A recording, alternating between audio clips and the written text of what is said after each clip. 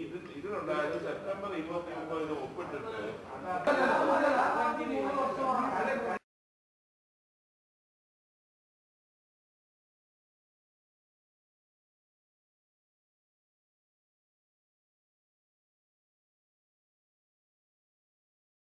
September മുപ്പതിന് അവസാനിച്ച P L C.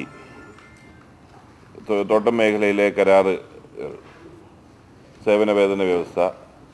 അതിനുശേഷം ഇരുപത്തിരണ്ട് സിറ്റിംഗ്. കഴിഞ്ഞ ഗവൺമെന്റ് കാലഘട്ടത്തിൽ നാലും ഈ ഗവൺമെന്റ് വന്നതിന് ശേഷം പതിനെട്ട് സിറ്റിംഗ് നടത്തിയിട്ടാണ് ഇപ്പോൾ ഒരു ധാരണയിൽ എത്തിയിരിക്കുന്നത്.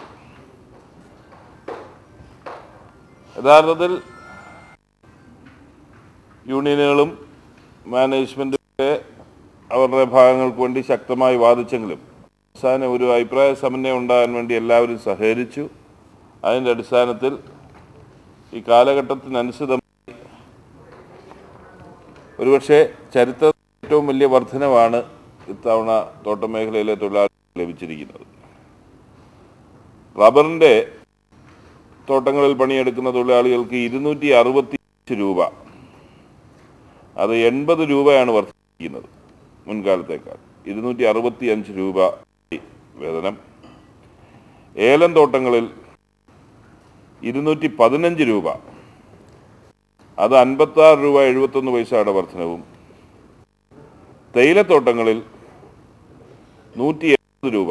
അത് മുപ്പത്തിമൂന്ന് രൂപ അറുപത്തിയൊന്ന് പൈസ വർധനവുമാണ് ഉണ്ടായിട്ടുള്ളത്. കാപ്പിത്തോട്ടങ്ങളിൽ അടിസ്ഥാന വേതനം ഇരുന്നൂറ്റി എൺപതും സ്പെഷ്യൽ അലവൻസായി അഞ്ച് രൂപയും കൂടെ കൊടുത്ത് എൺപത്തി അഞ്ച് രൂപ ആണ്. ബാക്കി വിശദാംശങ്ങളിലേക്ക് ഞാനിപ്പോൾ കിടക്കുന്നില്ല. ഈ പറഞ്ഞതുപോലെ എല്ലാവരും സഹകരിച്ച് ചരിത്രത്തിലെ ഏറ്റവും വലിയ ഒരു നേട്ടമായി. ഞങ്ങൾക്ക് ഈ തേയില മേഖലയിൽ തേയിലത്തോട്ട മേഖലയിലാണ് പ്രശ്നങ്ങൾ. തേയിലയുടെ വില ഗണ്യമായി വർദ്ധിച്ചില്ല പണ്ടുള്ള വില തന്നെ നിൽക്കുകയാണ്.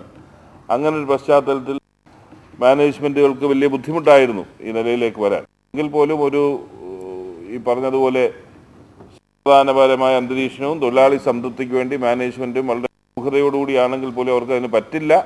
സാമ്പത്തികമായി സാധ്യത ഉണ്ടാകും. എങ്കിൽ പോലും മാനേജ്മെന്റുകൾ സഹകരിച്ച് ഈ എഗ്രിമെന്റ് ധാരണയിൽ എത്തിയിരിക്കുകയാണ് ഈ എല്ലാവരെയും ഇതുമായി സഹകരിച്ച എല്ലാവരുമുള്ള ട്രേഡ് യൂണിയൻ നേതാക്കളോടും മാനേജ്മെന്റിനോടും എല്ലാവരോടും ഗവൺമെന്റിനുള്ള നന്ദിയുടെ ഈ സന്ദർഭത്തിൽ രേഖപ്പെടുത്തും ഇല്ലില്ല. പിന്നെ ഇത് ചില്ലറ ചില്ലറ ഫാക്ടറി തൊഴിലാളി അങ്ങനെ ചെറിയ ചെറിയ വേർതിരിവുകളുണ്ട്. അതിന്റെ പേരാണ് എന്റെ വിശദാംശങ്ങളിലേക്ക് പോകണ്ട. പൊതുവെ ഉള്ള ഈ മൂന്ന് കാര്യം ഇതാണ്.